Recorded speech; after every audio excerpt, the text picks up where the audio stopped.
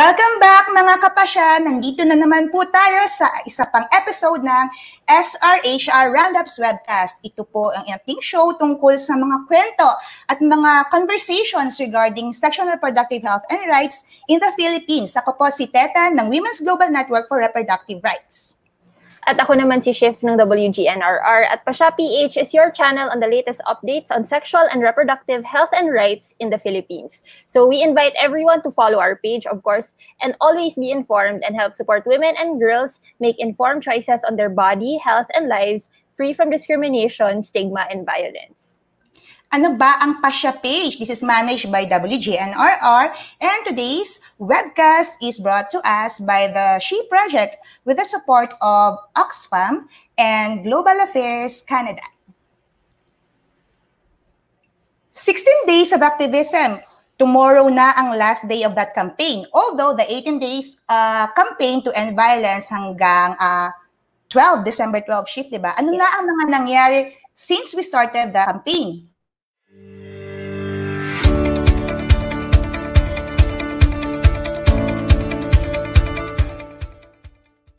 Hello, Teta. As you mentioned, we are continuing our Safer in Solidarity campaign in line with the 16 days of activism against gender-based violence. So, um, of course, dito sa Philippines, in, in, in, in natin ang 18 days naman. So, meron pang extra 2 days Um, but so far, ang dami naging activities within um, the 16 or 18 days nga.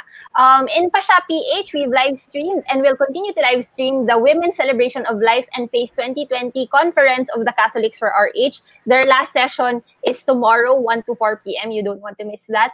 And we continue to support also um, the Waisili Women and Kabataan Kontra Karahasan in Ilocos uh, region and their continuing workshops on SRHR and gender-based violence. Last week, they had their session on how to spot and stop sexual abuse. And also on our page is the video recording naman of uh, what we live streamed last December 3 uh, around, I think, 10 p.m. to. So if you weren't able to catch it then, baka gusto nyo balikan yung page natin at panoorin ang My Body, My Choice, Obstetric Violence in Healthcare Settings with the international community of women living with HIV. The next day, December 4, tuloy-tuloy yung mga webcast talaga natin this uh, 16 days of activism. Uh, meron tayong uh, Zoom discussion and then webinar on safeguarding against sexual violence by Times Up Ateneo. And that and the next day, um, like I said, punong-puno yung schedule natin, the 16 days. Uh, ang episode 1 ng Ergo Babay, a discussion on gender-based violence, vow, COVID-19 disaster. So lahat ng mga activities na to, lahat ng mga live stream natin, you will find our viewers, mga kapasya, you will find on our page. So we hope um, if you haven't uh, gone through them yet, hindi pa nyo pa napapanood, pumunta kayo sa page at panoorin nyo. Napakagandang mga discussions yung nangyari within the last week. Of course, hindi pa pahuli dyan yung ating SRHR Roundups webcast last week naman on how to achieve or how we can work together for a vow-free PH with the Philippine Commission on Women. We had Deputy Executive Director Christine Balmes uh, to talk to us about vow policy and mechanisms in the Philippines. Ayan. So that's our SRHR Roundups For this week, abangan palagi ang ating webcast for more information and updates on sexual and reproductive health and rights in the Philippines.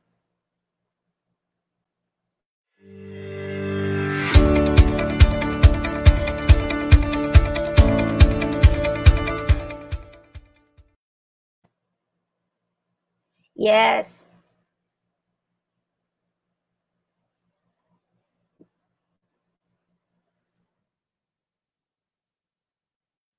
Yes, Miss Tet. So, um, we're back on our SRHR roundups. I think nakamute ka kanina, Miss Tet.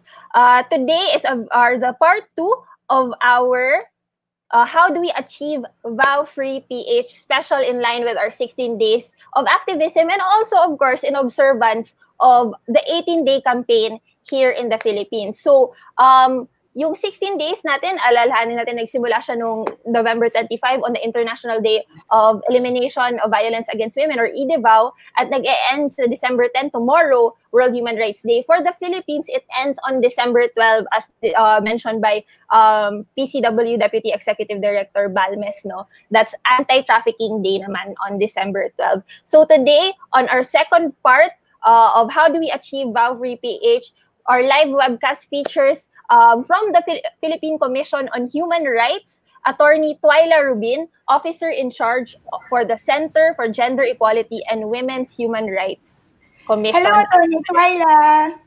Hello, magandang tanghali sa lahat. Magandang tanghali, Tets at saka Ship. Salamat sa pag-imbita sa Commission on Human Rights Center for Gender Equality, uh, Center Center for Gender Equality and Women's Human Rights sa inyong uh, show. Show talaga. Yes. Mama, susunod dito meron pa rin mga pa-dance at saka pa-contest. dito. Hi din po sa lahat ng nan- nanonood and please write your comments and questions kung meron man kayo for Attorney Twyla. Like Mark Devon of Yes. Hi, Mark Devon. Kung may question ka for Attorney Twyla, uh, message mo lang. Attorney Twyla, I'm, I've heard very busy din kayo sa 18-day uh, campaign. What has been the activities of us? CHR? CHR. Oo, sobrang busy-busy ng CHR because it's not just the 18-day campaign to end vow. Uh, we are also celebrating Human Rights Week. So bilang. Commission on Human Rights, patong-patong din yung multiple burden din talaga no ng uh, mga mm-hmm. nagtatrabaho sa CHR. So we kicked off the 18-day campaign to end vow noong 25 through an online rally. May physical rally din ng mga kababaihan na uh, ang panawagan ay ma-address yung impunity, ma- magkaroon ng accountability sa mga iba't ibang forma ng karahasan. At the CHR itself, we had our online rally noong November 25, no? Sa hapon, uh, may mga nagsalita ng mga kababaihan organization. And uh, gaya din ng sinasabi, it's a call to end all forms of violence. But we also say that uh, in order to end all forms of violence, kailangan natin may accountability, kailangan natin ma-end yung impunity, kailangan din natin ma-address yung iba't ibang, uh, yung poverty. Kasi maraming mga uri din ng karahasan na, na nag-uugat o nag, uh, nagagaling din doon yes. sa uh, nagbubunga bunga siya ng kahirapan. So, meron din aming mga different mga webinars sa aming mga regional offices and bukas ay yung ano na talaga natin no, observance of uh, Human Rights Day. So, tuloy-tuloy lang po yung aming uh, celebration observance ng 80-day campaign at pinapangunahan ito ng central office and of course kasama namin ang aming mga regional office uh, sa 16 regional office ng CHR. Thank you for sharing. Tomorrow, magkakaroon din po kami ng concert as our contribution to the Human Rights Day to mm-hmm. highlight the different forms of human rights violations. Ang sinasabi niyo nga, Attorney Twyla, how we can call for uh, accountability. Uh, Attorney Twyla, we really want to use this opportunity for the webcast to tell our viewers as well and our advocates to know more about the role of uh, CHR, lalo na dito sa mga issues na daladala natin. So I'll start with asking you, uh, ano po ba yung role, ano yung mandate po sa Commission on Human Rights? Sige. So, para siguro sa mga hindi nakakakilala ng CHR, uh, kami ay isang National Human Rights Institution. Uh, independent kami na institution and created by the Constitution. So, walang CHR pa before. Uh, we had the Philippine ano no Human Rights Commission yata yung forerunner ng CHR. Mm-hmm. But noong 1997 Constitution, nagkaroon na ng National Human Rights Institution or creation ng CHR.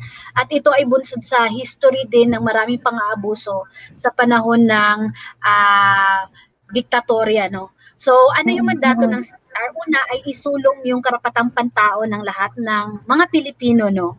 At ang sinasabi din ay hindi lamang to promote and advocate for human rights, ito rin ay tutok sa human rights ng mga vulnerable at marginalized.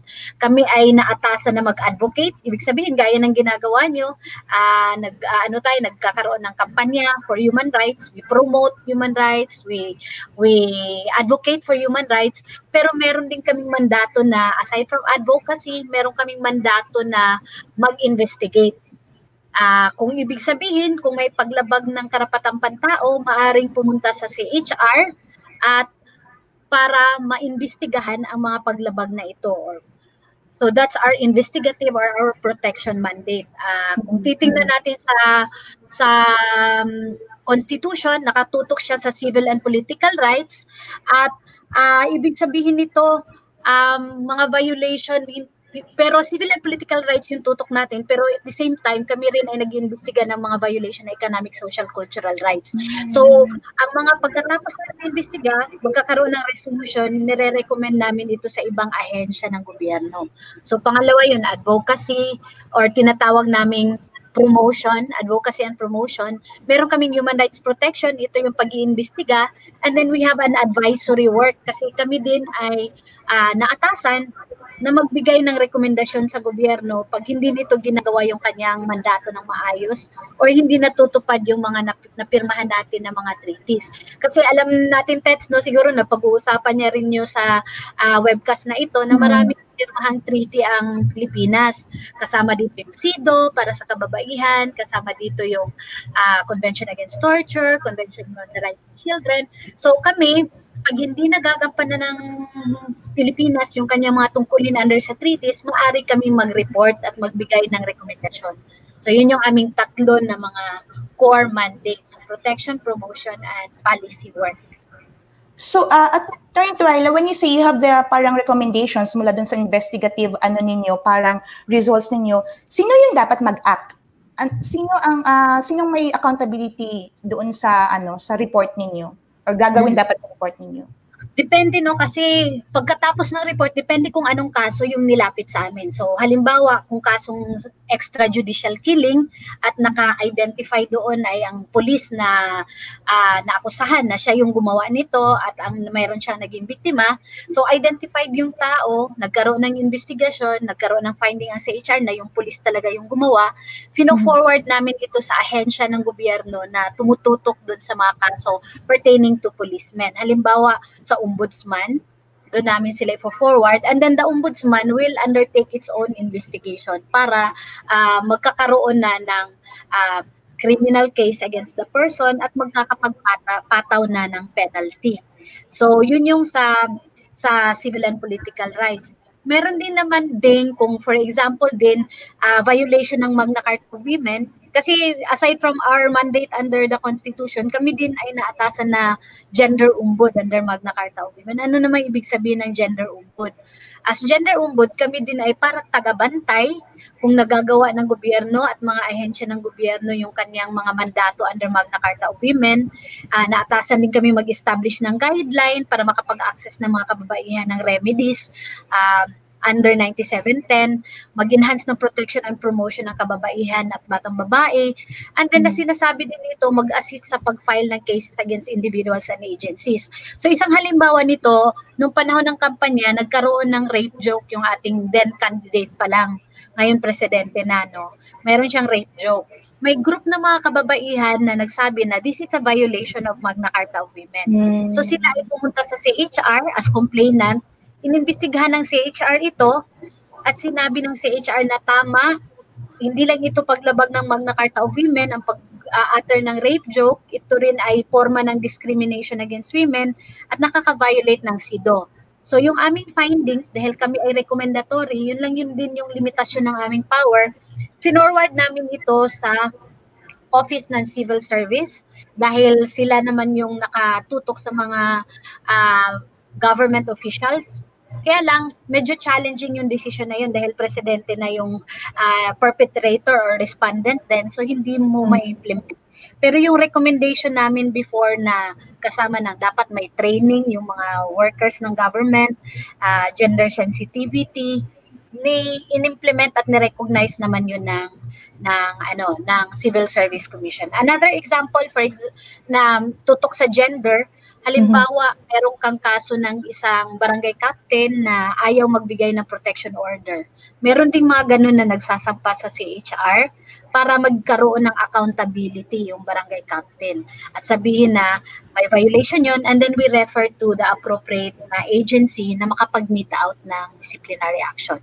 So kung i-shortcut natin ano yung role ng CHR to advocate uh, human rights, women's human rights as gender umbod, mm-hmm. Um, at then, meron din kaming role na mag-advise sa government kung ano yung dapat nilang gawin para mapama, para ma gampanan nila yung kanilang tungkulin pagdating sa human rights. Later siguro yung side na ipapakita natin kung ano yung ginagawa namin pagdating sa panahon ng COVID pandemic. Meron din pala kaming legal assistance. Pag ah, okay. meron kayong issue na human rights violation, kailangan nyo ng legal advice, nagbibigay din ng CHR to our regional offices. Bagamat hindi kami nakakapag legal representation or hindi kami yung pwedeng mag-appear sa court gaya ng sa PAW. Ano yung usual attorney Twyla na misconception or na role or parang ano yung isang expectation ng posibleng like the no, no, normal the average person about uh, Commission on Human Rights that is not actually part of the mandate or role of CHR? Yung iba, inaasahan nila na sabi nila, o yung CHR, bakit puro ang tinututukan ay yung mga kamalian ng gobyerno, pagkukulang ng gobyerno, bakit pulis, bakit uh, ang tutok sa sundalo, bakit hindi kasama si NPA, bakit hindi kasama yung uh, mga kriminal. Actually, tinututukan din ito ng Commission on Human Rights. And if titingnan natin yung aming mga statements, we condemn acts of violence both by yung criminals, mga rapists. We condemn as well acts of uh, violence if committed by allegedly committed by uh, mga NPA.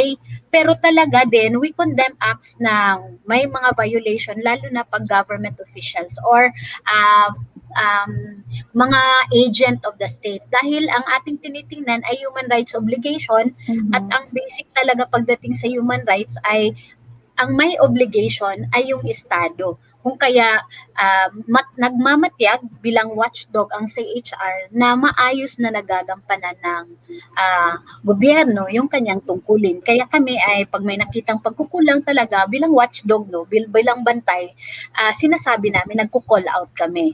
Pero hindi ibig sabihin na hindi namin kino-call out yung iba. Mm-hmm. Isa din na inaasahan nila ay bakit uh, hindi kami nagpapakulong ng mga rapist Um, mm. Isa din naman, ang nagpapakulong po ng mga rapist ay obviously yung ating kapulisan. Wala pong kapangyarihan ang CHR. Pwede kami mag-issue ng statement condemning uh, yung rape. Pwede kami mag-issue ng statement na nagpupuna sa isang police station kung hindi sensitibo yung kanilang pag-handle ng isang rape case or hindi maayos yung kanilang pagtrato sa babaeng biktima. Pero yung pagpapakulong mismo, ito ay mandato ng ating executive branch ng government. So kailangan natin siyang tingnan na meron tayong executibo, meron na taga-implement ng batas, meron tayong legislatibo, gumagawa ng batas, judiciary, yun yung nagja-judge kung kulong ka na talaga for life or not. Mm-hmm. And then, yung isa naman, eh, yung mga constitutional commission gaya ng CHR, mm-hmm. na yung sa amin talaga ay taga-bantay ng ginagawa, uh, parang konsensya ng gobyerno. So, yung Ako ganun palagi ang yes. constitutional body, we don't call it a government agency para lang po sa ano no mas mas klaro sa lahat. How do you refer to C, to bodies like CHR? Are you a, a, a government body, an agent government agency? Ano po ba tawag? We are an independent, independent body. So, independent body but we are part of the government of the Philippines. So, gaya din lang ng ating four pillars, siguro mas maganda nga, hindi ko lang nasama sa slide ko. Makikita mm-hmm. natin yung paghahati-hati, yung separation ng different uh, uh, ano ng gobyerno no as legislative, judiciary at saka yung ating uh, executive. Ang sa HR ay still government, funded by government. Uh, kami po ay kami din ay civil servants.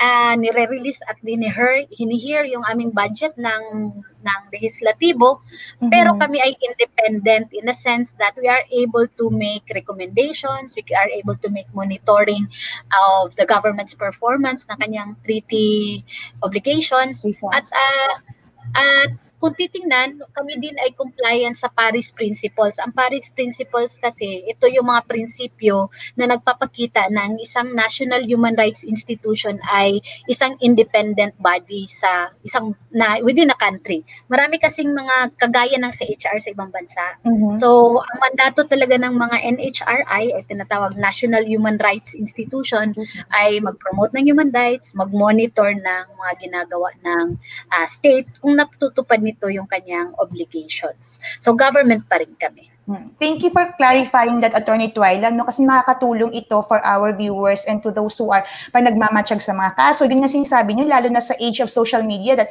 easier the, the population or anyone could make comments or ask CHR, at least alam natin ano ba yung differences at ano ba yung role and mandate ng CHR.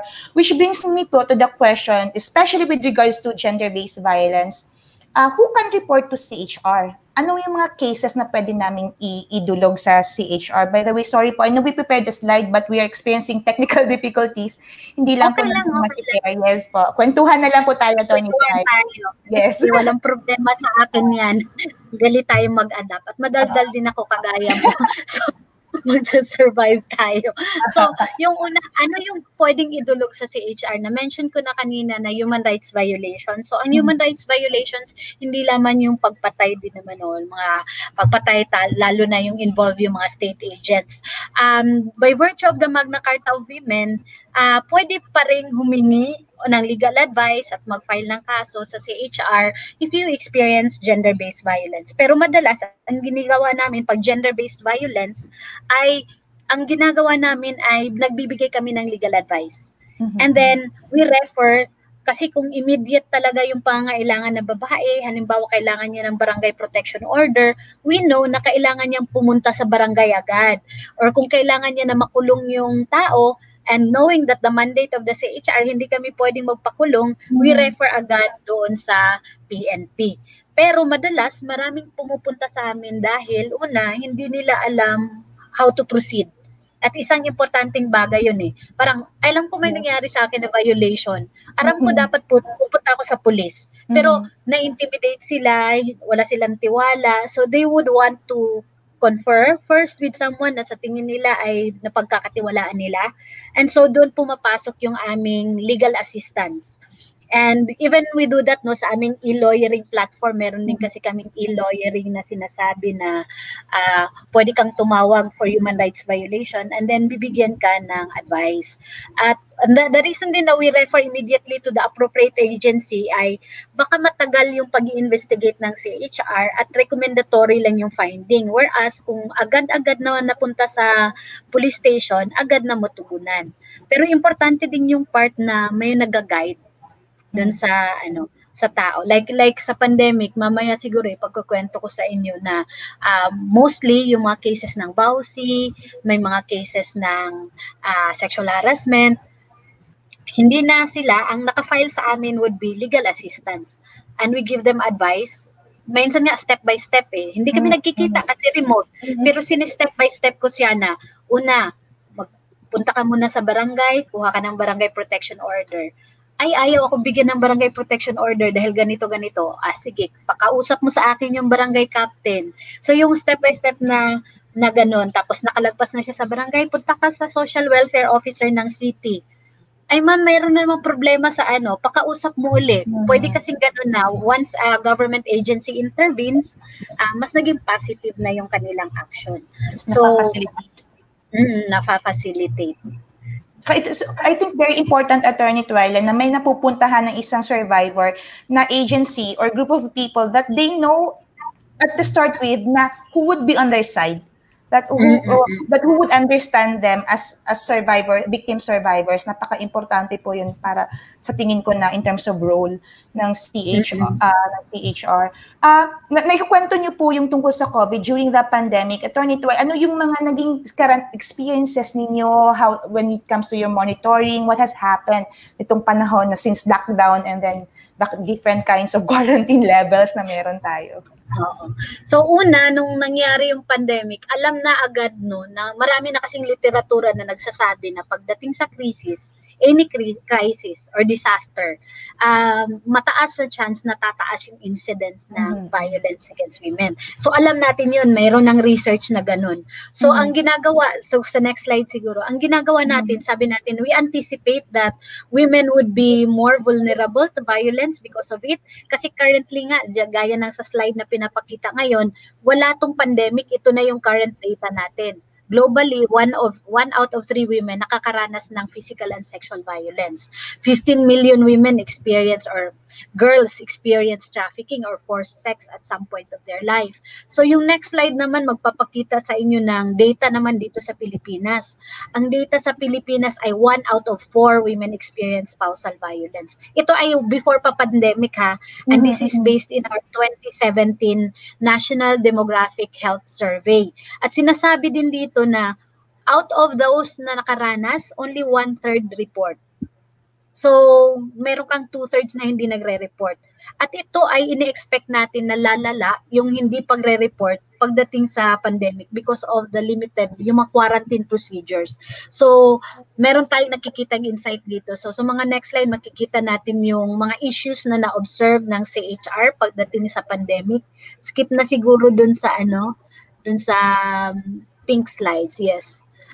Yan.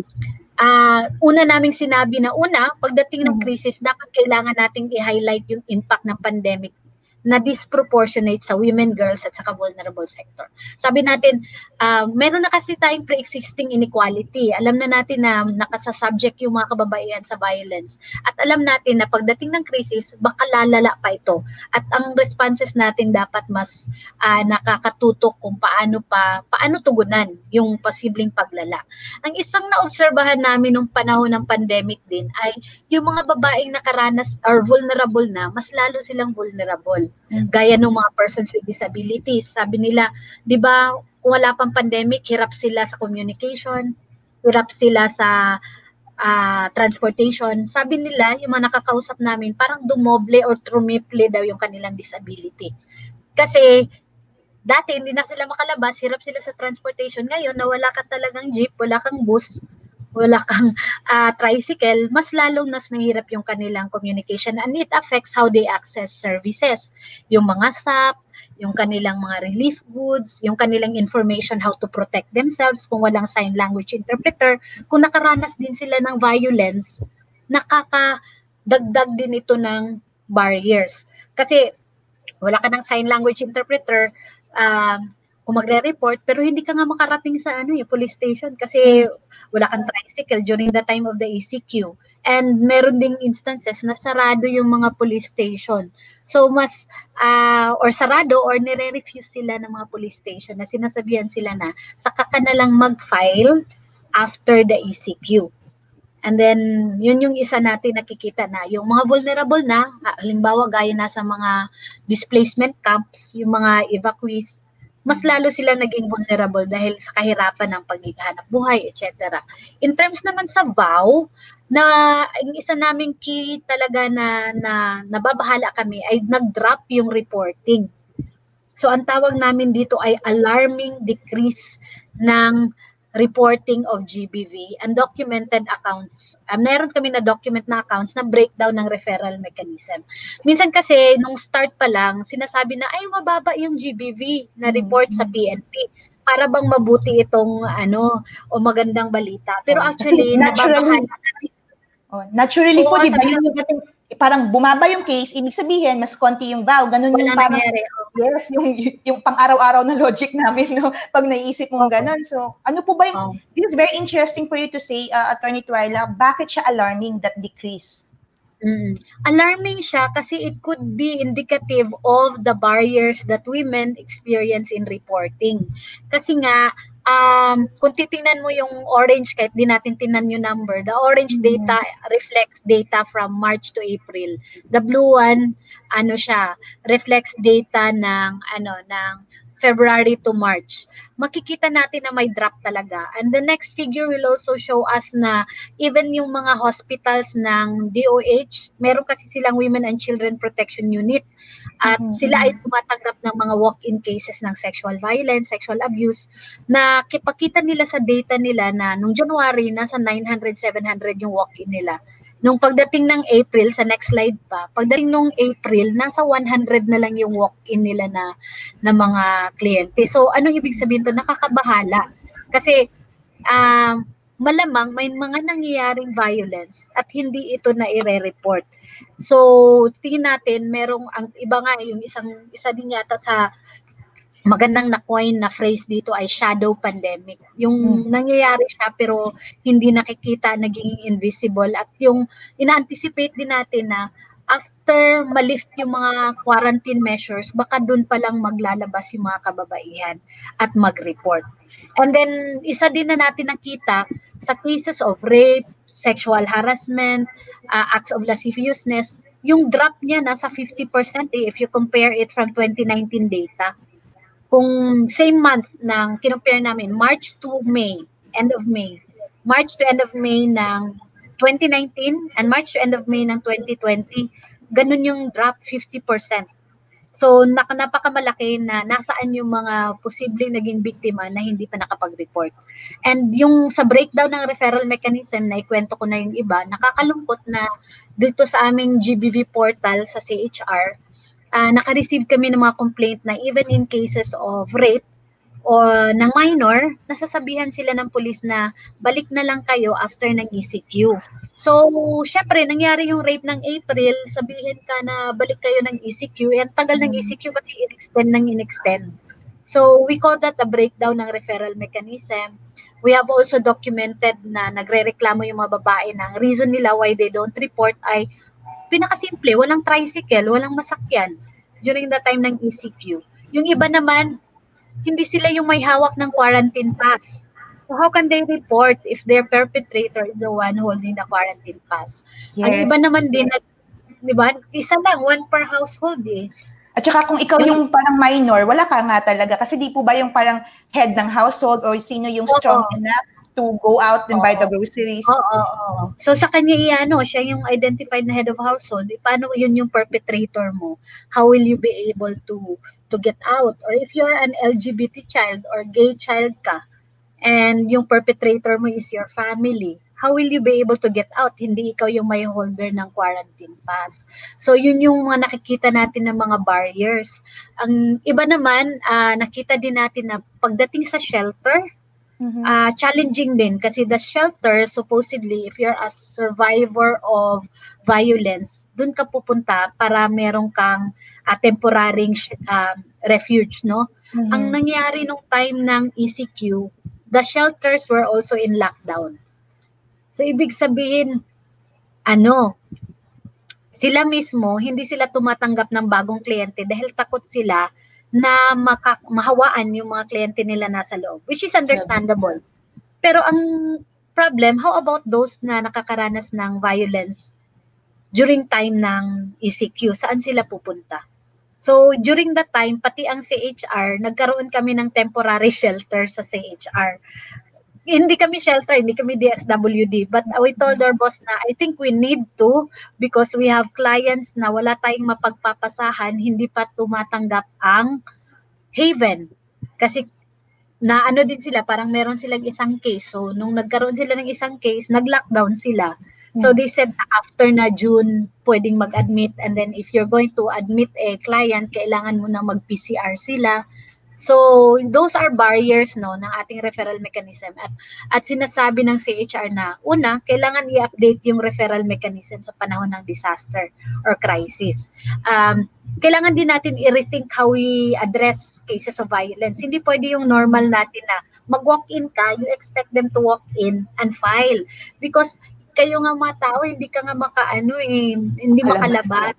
So, how what are the more creative ways na ma-address natin at maprotektahan yung mga kababaihan sa panahon ng pandemic. And it's good that maraming mga initiatives na na-develop like Lunas Collective. I admire Lunas Collective kasi no, meron silang na-develop na online counseling na if you're a victim of violence, pwede kang mag-online tawag, magpa-counsel. Kami din, we develop a reporting portal na at least kung hindi man namin mapuntahan yung babae, agad-agad na matawagan mag-guide kung ano yung pwede niyang gawin and then yung options niya at least lalawak.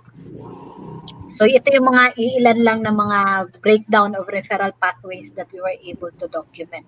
So and then meron pa rin pala, meron pa kaming insights. Meron din kami mm-hmm. naobserbahan na may emerging forms of gender-based violence related to the pandemic itself at saka yung hmm. sa mga serbisyo na binibigay ng gobyerno narinig niyo yung mga storya na mga nanay na nasasampal ng barangay captain or pinapagalitan or binibirit. Maraming mga ganong cases dahil either yung nanay ay naniningil, nasan yung kanilang relief goods or bakit sila na-exclude at sa paniningil na yon sila ay nakakaranas ng ano ng violence from state agents. Other forms naman yung mga cases ng ating mga gays na in Tarlac, ay in, in Zambales and in Zamboanga, na yung penalty nila for violating quarantine rules ay pinaghahalik, pinagsasayaw, hina-haircut sila, yung pinuputulan ng buhok, na talagang, una, very gendered kasi it's attacking their uh, sexuality, no? Kanilang yeah. gender identity at saka kanilang sexual orientation. Na hindi naman ganun yung pagpataw ng penalty sa iba. So nakikita din yung intersecting na discrimination bilang LGBT no. And uh, at nakikita natin yun sa penalties. Meron din mga instances of course na harassment sa mga checkpoints, yung mga ano mismo, yung mga nagbabantay, nakita natin yan, no? And of course, yung nabalitang sex for pass. Although walang nag ano, nag-report sa CHR, we tried to reach out. Medyo hirap kasi at takot din yung mga tao na mag-report. But nakakabahala yun. How And about to, attorney, at, uh, attorney yeah. Tuan, yung na nabababalita kasi yung mga cases na the, the young, especially yung young girls, minors, who were parang kinuha dahil may violation sila ng quarantine and curfew and then afterwards were found out uh, raped. Uh, di, were you able to confirm these cases na nasa media po? Ang currently wala ay hindi pa namin na i-confirm yung ano na yon, yung mga report na yon. Pero yung mga regional offices namin yung nag-investigating cases like that. Ang yung isa kong sinabi, isa din pala namin na highlight ay uh, lethal yung effect din ng breakdown ng referral mechanism gaya ng the case ni Fabel uh, alam natin yung case niya, nangyari yun ng lockdown, siya ay nagsampa ng kaso, humingi siya ng protection sa pulis, hindi ito na ibigay sa kanya, pagbalik niya, uh, pag-uwi niya, siya ay nabaril. So nakita natin na dun sa gap na yon ay talagang uh, buhay yung nakataya. And uh, in that cases, kung sexual violence for those who are detained because of curfew violations, hindi ko alam kung anong specific na case because baka pwede mong i-send sa akin yung link. Mm-hmm. Verify ko lang it's already filed kasi hindi ko na maalala lahat ng mga naipasok. Kasi even sa CHR, kahit hindi na i-file sa amin, pag na-monitor namin yung case, na naka-report, we do check if it's already filed with the prosecutor's office. May mga may mga report nga na may alleged sexual violence because of uh, curfew violation or even those sa mga pag-implement ng quarantine uh, rules. Uh, buti ngayon nag-ease up na no. So bum, nawawala na rin yung mga ganong mga klaseng uh, reklamo. But also, tumaas din yung sexual harassment and violation ng Safe Spaces Act online. Lalo na, online sexual harassment din, uh, mataas siya. Um, kasi nga, nakatambay yung mga tao lahat online. Yes. At uh, maraming humihingi ng tulong pertaining sa mga videos, images na pinapasa-pasa. Um, and challenge naman natin dito, although meron na tayong Safe Spaces Act, nagpe-penalize ng online sexual harassment, mahirap kasi mag-pursue talaga ng cases uh, of GBV committed online, lalo na pag fake accounts yung ginagamit ng mga perpetrator, yung anonymity, yung mm-hmm. kapis na magtanggal ng mga ng ano ng data and mag-create ng bagong account, doon nahihirapan tayo na ma-pursue yan. I think it's one thing that we as feminists, as activists, kailangan nating upuan at mm-hmm. talagang tulong-tulong natin na tugunan no na magkaroon tayo ng digital safety, digital literacy at saka access to the justice pagdating sa online uh, forms of violence. So, kasi yung online form po kasi, ang hirap nga yung redress, ano, Attorney Twilight, tsaka yung justice, oo, kasi yung binabanggit na what's in the web, it can never be removed kasi hindi mo naman mm-hmm. talaga alam who has the digital file. Kaya, and then, oo. yung mga forms ng violation, every time someone watches that video, is like, paulit-ulit, paulit-ulit yung violation. And at the same time, yung hate speech at saka yung mga very easy for trolls and even real persons with real accounts to actually like just spew hate comments, yeah. mga body shaming comments to someone, even especially to celebrities who say mm-hmm. uh, parang things that might not be against or posible din usually yung nangyayari ngayon could be anti-government. So madali yung mga uh, ano yung pag-atake uh, online which sa tingin natin online lang but could have re- have real life uh, implications and threats to to to women. Agree. At saka doon din nakikita natin na I think uh, ang Safe Spaces Act kasi 2019 siya pinasa. Yung IRR niya approved this year din lang or ano din lang siya. Ngayon lang na taon na approve yung IRR uh, or no, last year pala. Pero ngayon naman ginagawa ng mga agencies yung kanilang operational procedures adapting the IRR. Ang isa na nag-looking forward kami ay yung operational procedures ng PNP, NBI pertaining to online sexual harassment. Kasi doon talaga tayo magigiya kung uh, paano ba natin to i-address na may misogynistic remarks kang pakalat-kalat, homophobic, transphobic remarks. And ang iba talaga totoo, hindi sila nagtatago sa fake account. Even their own real accounts ginagamit nila as if wala tayong batas that uh, penalizes it. Which reminds uh, me yun, of your so, comment at the start of the webcast, Attorney Twyla, yung impunity yung emboldened, na emboldened mm-hmm. talaga yung mga misogynist and hateful comments ng parang mm-hmm. lang. Maybe also because they know, perpetrators no, na hindi din ganun kadali to ask for ano, for redress or file cases against them. Very complicated. Mahirap mag-file ng kaso sa Pilipinas. Oo. oo. And in cases of Lalo na pag online. Oo, at in cases of gender-based violence, yung stigma mas malakas pa doon sa victim, survivor, compared to Oo, the perpetrator stigma malaki yung mataas yung victim blaming. Kaya siguro maganda din tingnan tong slide na to if you remember sa gitna ng before ng Iha Ako movement or mm. the one that that started it. Yung mm. PNP guidelines how not to be raped in region 4, yun yung start eh. Na doon natin makikita na bakit magpaulit-ulit gumagawa ang PNP ng ganitong guidelines. Mm. Paulit-ulit na rin kasi kami sa CHR na nag issue ng advisory. I think we already have three advisories mm. na ganito yung topic. And palagi naming sinasabi, of course, you are survivor-centered yung approach. You do not blame the woman. You create an enabling environment na dapat walang karahasan nangyayari. Hindi mo ipopulis kung ano yung sinusuot ng babae may rapist dahil may nang rape hindi dahil sa kung ano yung suot ng babae. Mm-hmm. But you could still see that it's very rampant, no? Yung, yung mga yung mga victim blaming and even from the ranks of the government. And doon pumapasok yung role ng CHR.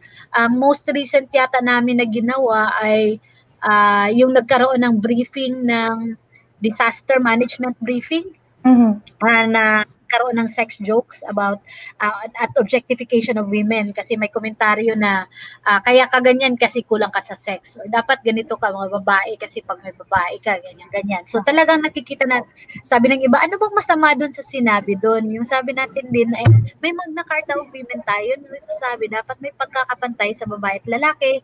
Dapat nire-respeto at may non-discrimination pero ang problema doon sa mga komentaryong ganun ay kinukulong yung babae as objects of uh, sexual gratification ng mga kalalakihan. So sabi din natin na hindi ito appropriate given in a disaster briefing na maraming mangya, nangyaring violence sa kababaihan during the time ng typhoon.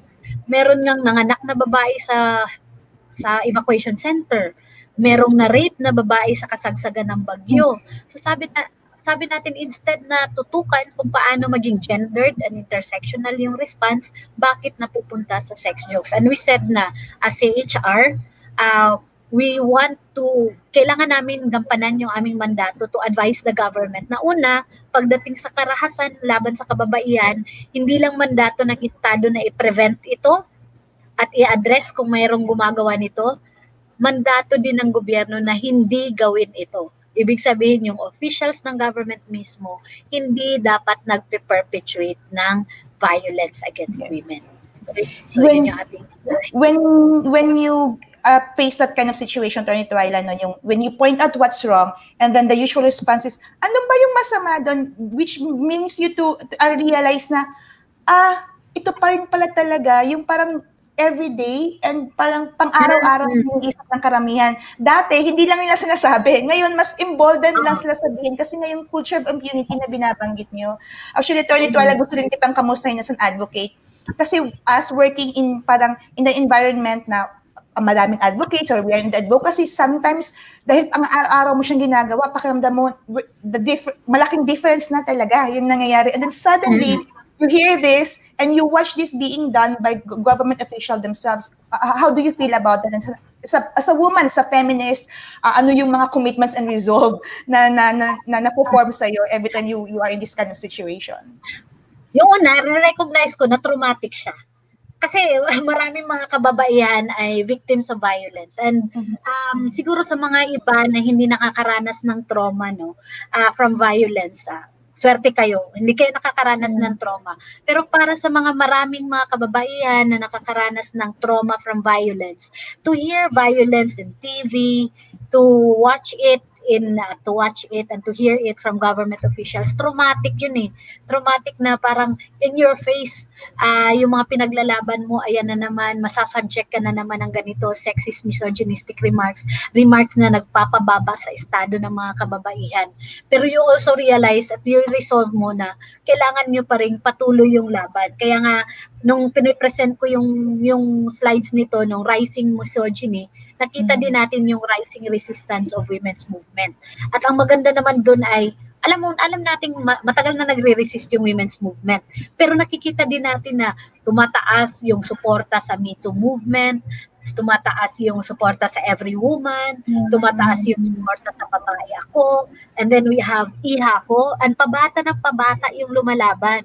So nakaka-inspire yun kasi as as as our feminist lolas and feminist foremothers ay nga or gusto nila lumaban pero talagang minsan kailangang mag-pause, nakikita natin na maraming lumalaban na mga kat kababaihan, batang babae at maraming nagko-call out. So, kailangan nating i-stress talaga na Yes, we fight for laws. We celebrate laws, policies that address violence against women. Uh, we, we, but we still also have to work on uh, accountability. Kasi hindi mo masasabing mai-end mo yung violence against women kung hindi nakikita na babae that they can trust the system.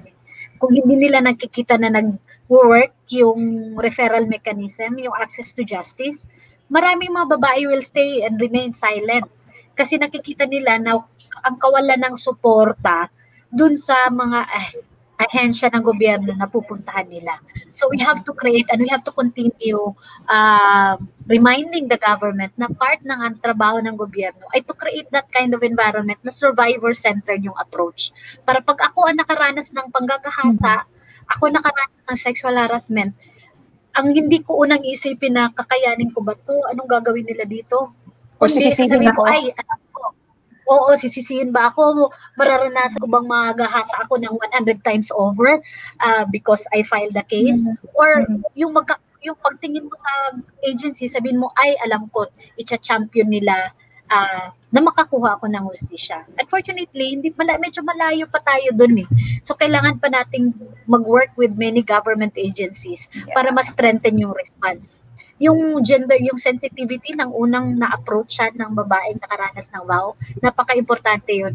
Kasi ikaw yung una niyang nilapitan. So pag once na nasabihan mo siya ng very discouraging words or words na napapakita na biniblame. Invalidating also. Uh, invalidating the experience, hindi na yun babalik. So magsa-silence, tataas yung mga maraming silence na And so it's important to have that. And it's important to have uh, more and more champions within the government. Importante sa akin din na to work with government na frontliners kasi sila yung nauna nauna doon. Alam natin na maraming mga government frontliners na overburdened. So kailangan natin i-remind sila bakit uh, kailangan uh, hindi invalidate yung storya ng babae, bakit meron kang attitude of belief, at kailangan nila makita yung impact ng sinasabi nila dun sa karasa, kanaranasan ng babae. Kaya nung sinabi kasi like, this ECQ lang, may nagreklamo sa akin, ma'am, sinabihan ba naman ako paano ako na-rape? Eh, wala naman ako laceration. So parang, how do you, at this time, when we have uh, Supreme Court ruling saying na wala namang kailan hindi yan elemento ng rape, and, and yet you would still hear uh, front, yung dapat na tumutugon, ganun yung sasabihin sa'yo. Siyempre, ano yung impact sa'yo ng mga ganong sinasabi? So, kailangan talagang patuloy yung pagtitraining for a survivor-centered approach. And that's why Pero laban na. And that's why Tony Island, every year nagiging relevant pa rin yung 18-day campaign, the 16 days of activism. Actually, what we really hope no na in the future, hindi na kailangan yung ganitong kampanya. That's what we really want to to to see. And with that, uh, uh, we will end the, the, the conversation with asking you, Attorney Twyla, what else, right, Chief, can we expect sa work or sa campaigns na gagawin ng, ng CHR for the remaining days of the campaign as well as regarding the pandemic? Mm-mm. Ang CHR, medyo marami kaming gumagalaw ngayon ng mga projects, no? Sa aming regional offices, um, uh, masaya ako na aming regional offices ay ginagawa mm-hmm. for the second year yung tinatawag namin na GBV mapping tawag na GBV, Gender-Based Mapping of Legal Referral Mechanism. Mm-hmm. So, ang 16 regional office namin pumupunta sa pili nila na local government unit at minamap nila at nakikipag-FGD sila sa duty bearers. At uh, duty bearers, ibig sabihin, police, social worker, yung mga barangay baudes. Ang pinag-usapan kung ano yung gaps ng mga mekanismo nila. Uh, at lalo na sa panahon ng pandemic. And then may separate na FGD with community women.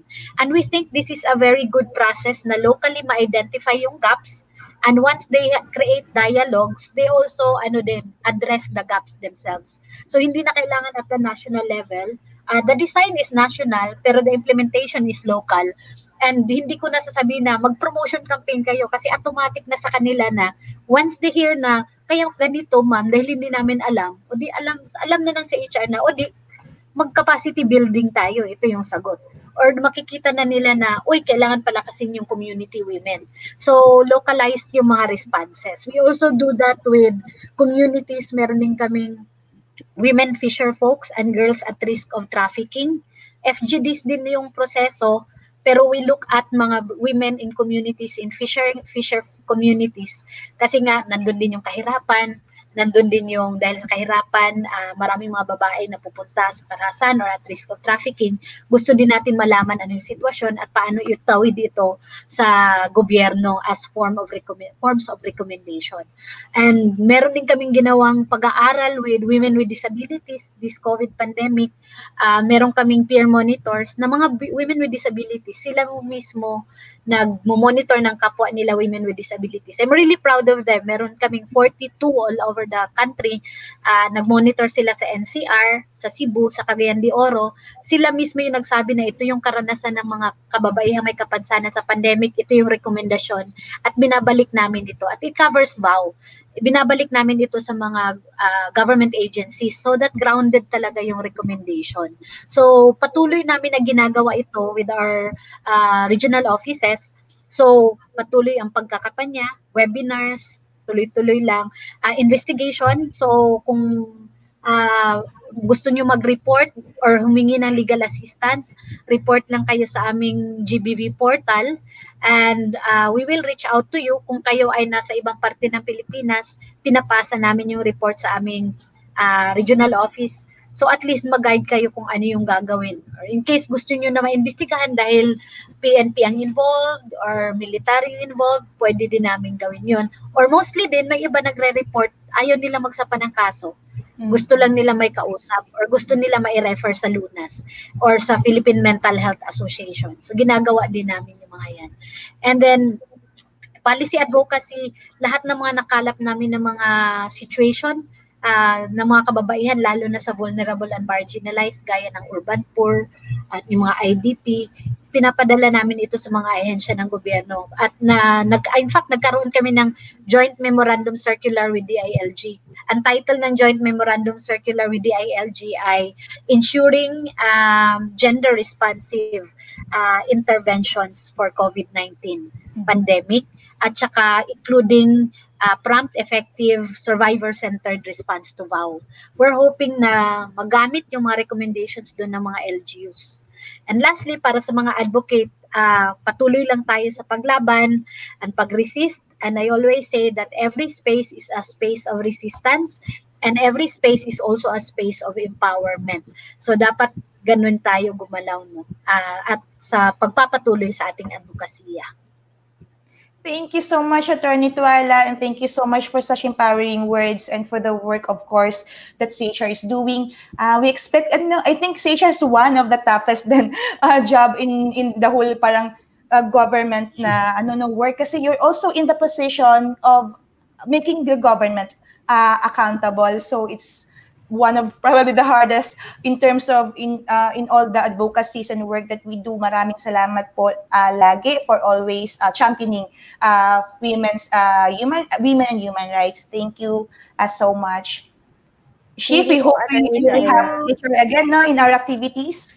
Yes, Attorney Twyla, hopefully we can have you again in our future webcast. We'll make sure po on our Pasha PH page to update um, our mga kapasya on yung mga efforts ng CHR and yung mga activities niyo rin po. Especially po, Attorney yes. Twyla, do share if you have like um, yung mga uh, updates niyo po, especially with the referral mechanisms and referral pathways na makakatulong. Kasi nakakatanggap din kami minsan ng mga tanong, ano ba, saan ba sila pwedeng pupunta o lalapit. I think especially kung ano yung mga pagbabago sa referral pathways na meron sa panahon ng pandemic. Thank you so mm-hmm. much po, Attorney Twyla, and see you hopefully in other uh, episodes. Bye-bye! Ingat po lagi! Thank you, Attorney. Bye, friends! Bye! Thank Ayan. you so much. We're so happy yes. with the sharing of Attorney Tuala and ang dami kong natutunan and like really understanding more of what is the role and ano yung halaga ng mga ginagawa ng CHR.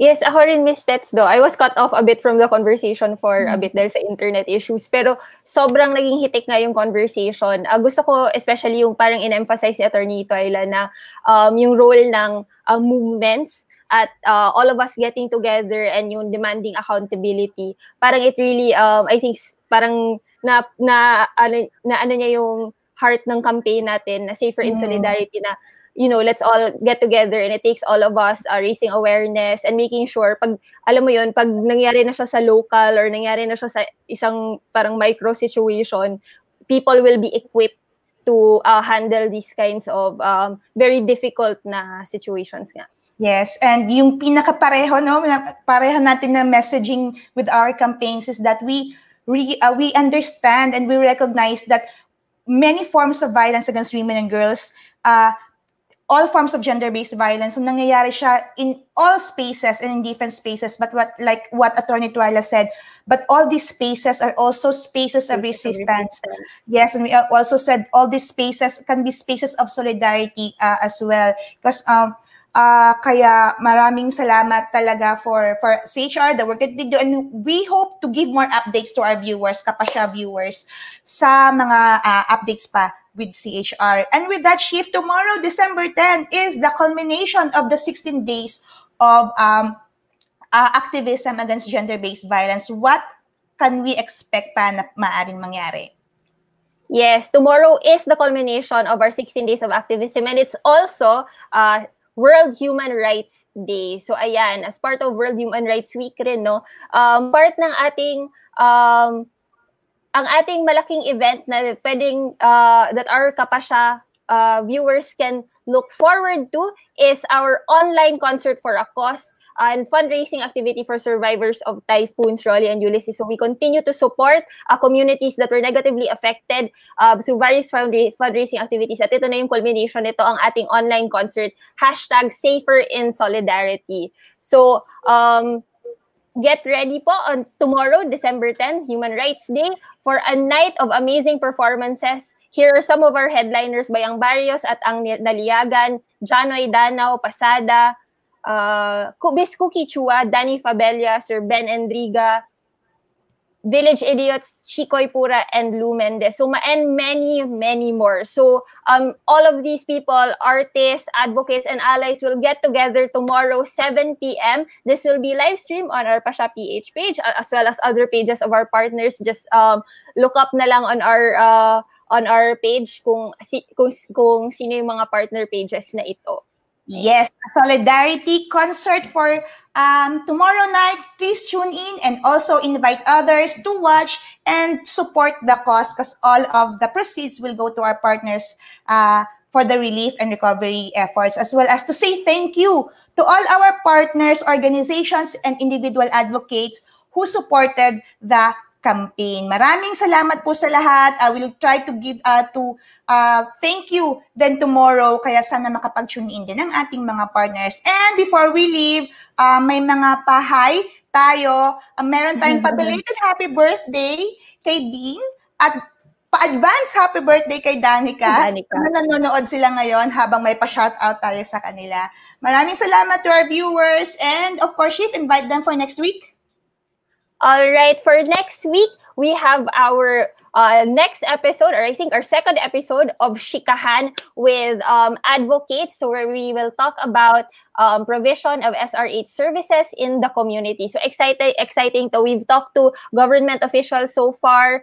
Um, I think it's so important na ma-contextualize nga sa community level ito lahat ng mga efforts na um, ginagawa in terms of SRH, RNGBB. So abangan po natin yan. Thank you so much. Maraming salamat po sa nanonood at kay Danica na nag-comment ng ha ha ha ha.